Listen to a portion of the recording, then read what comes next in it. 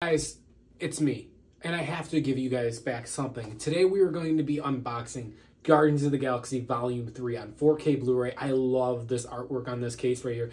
Guys, yes, I'm taking a break on YouTube. I'm really getting into the short film world right now, but I have to, guys, I have to do a giveaway and an unboxing for this. Let's get this open. Now, you guys know that I fucking loved Guardians 3. It was a great fucking movie, a great ending for the Guardians. James Gunn, I have all the trust trust in the world for for the DC universe, and I cannot wait. I honestly think that Guardians 3 is my favorite Guardians film of all time, or out of all three. But this is what you get: the 4K Blu-ray, the digital code, and the four or and just the Blu-ray. Awesome flip cover too. Now I had an option opportunity to get a limited edition pin. I didn't want to get it though. Insert that digital code out.